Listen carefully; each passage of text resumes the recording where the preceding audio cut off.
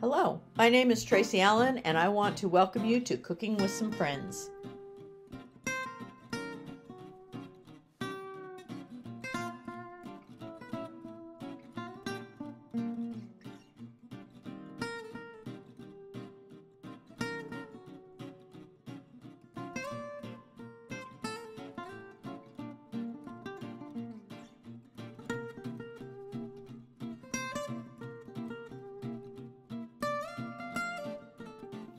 Hello and welcome to Cooking with Some Friends. I'm getting supper ready and I've got some potatoes on cooking.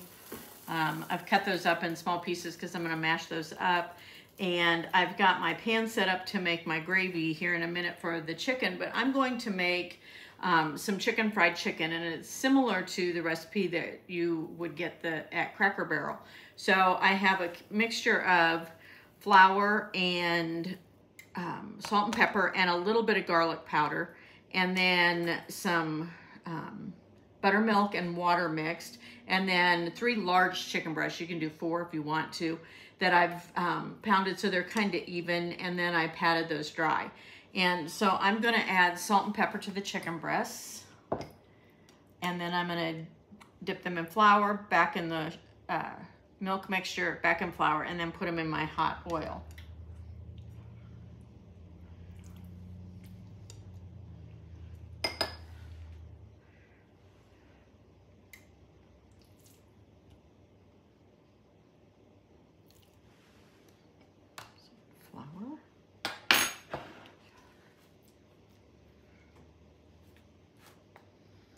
Buttermilk.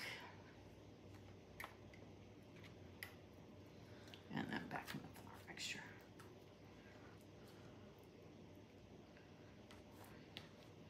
I want to make sure my oil is hot. It's not quite there yet. If it was hot, the, the flour would instantly go to the edges. So it's not quite ready for me to do that yet.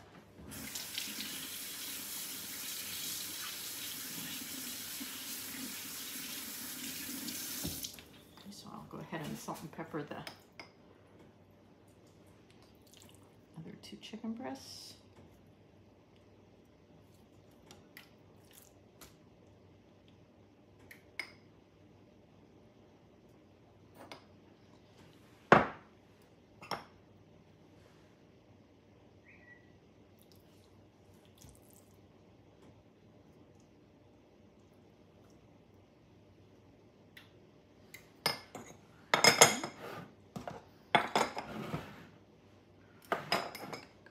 Check our oil again.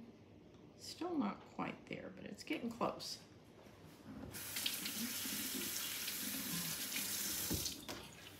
For my gravy, I have um, some bacon fat that I have put in my pan, and it's about two tablespoons. So I'm gonna heat that up here as soon as my chicken's uh, cooked at least on one side. I don't wanna make my gravy too soon. And then I'll put two tablespoons of flour, mix that in, let that cook for just a minute, and then add a cup of heavy whipping cream to it. I think we're about there. Yeah.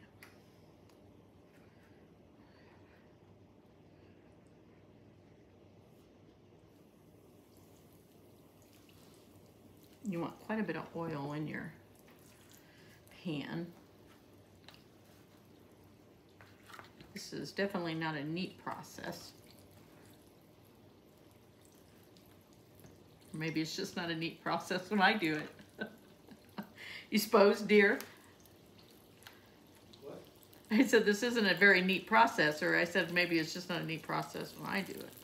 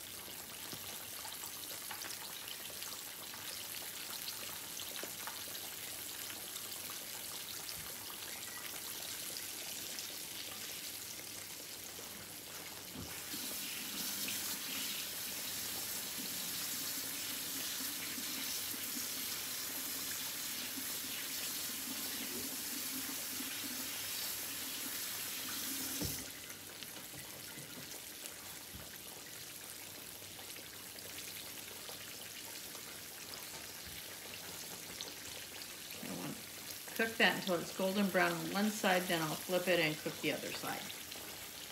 Our chicken, fried chicken is done on one side, so I turned it. I've uh, gone ahead and turned the heat on and melted down the bacon fat that is in my other frying pan. So I'm gonna add that two tablespoons of flour to it and stir that in to make the roux. I want to let this cook just for a couple of minutes. Actually, just a minute or so. You just don't want that flour taste.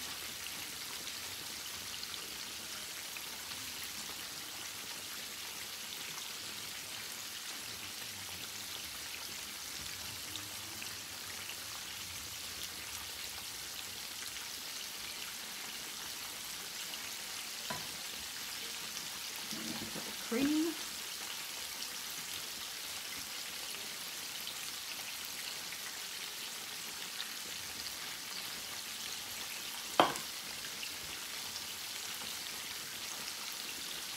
a little bit of salt and pepper to this as well.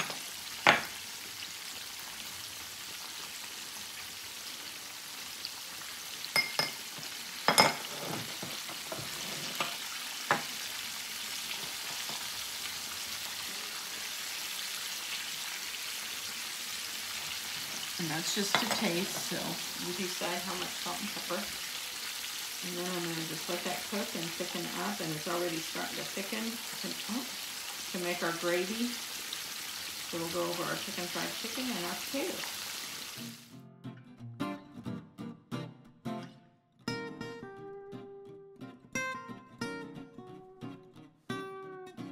Hello, welcome to Cooking with Some Friends. I am getting ready to make some uh, chicken fried steak.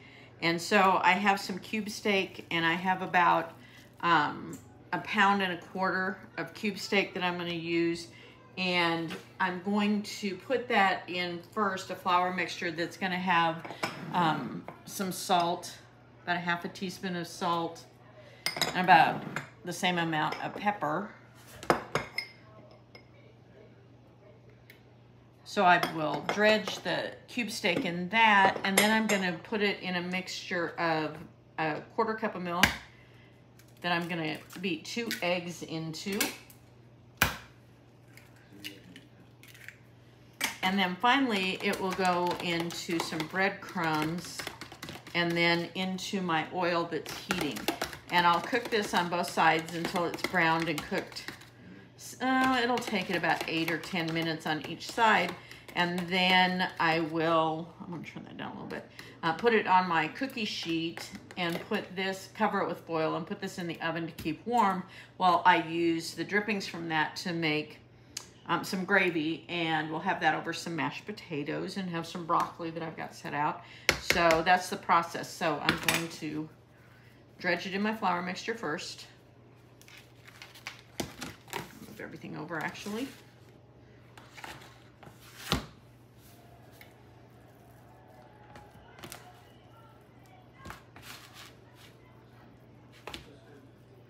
And my egg and milk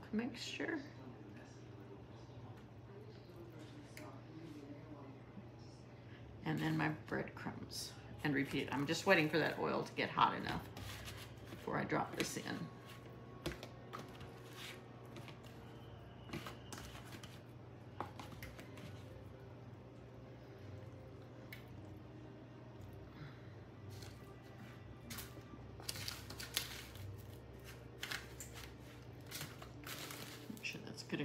Good.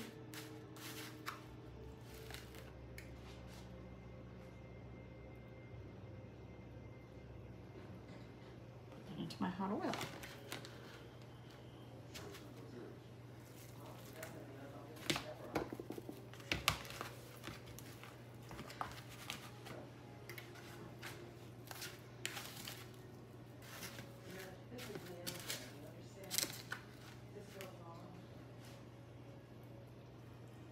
Make sure you get a pan large enough for the amount of the steak that you have. And I like chicken fried chicken as well. But sometimes it's just kind of nice to do something a little different and have steak instead.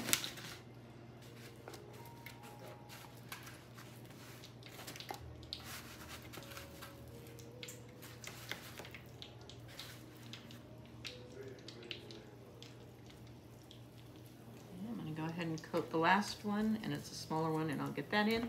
And then I'll come back and show you when it starts to turn. Our cube steak looks good on one side, the pieces that I got in there at first. I'll show you as I flip it the difference. Nice brown. Go ahead and let this last one cook a little bit longer. And then I'll transfer these to the tray, cover them with foil, and put them in a 300 to 325 degree oven while um, I go ahead and make the gravy, and I'll show you the gravy. Okay, our chicken fried steak is in the oven, keeping warm. I did our broccoli, our potatoes are mashed, so the only thing I have left is to make the gravy. And I left about two tablespoons or so of the oil in my frying pan from cooking my chicken fried steak. And to that, I'm going to add about two tablespoons of flour and some salt and pepper.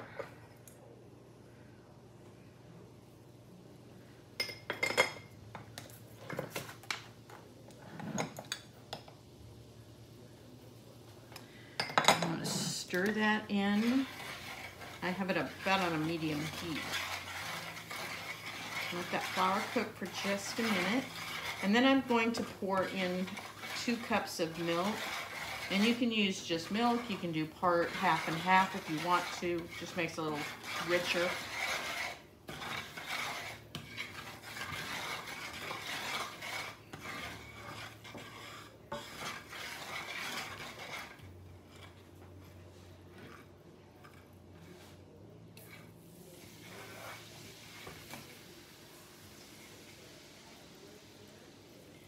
just gonna cook this until it thickens and then we'll serve it over our chicken fried steak and our mashed potatoes.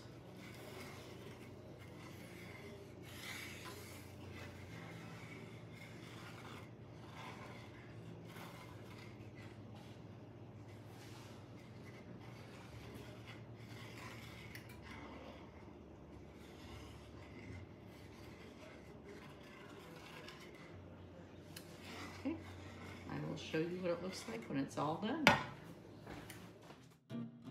Thanks for joining us for this session of Cooking with Some Friends. Make sure you like this video and subscribe to our YouTube channel. And find us on Facebook at Cooking with Some Friends.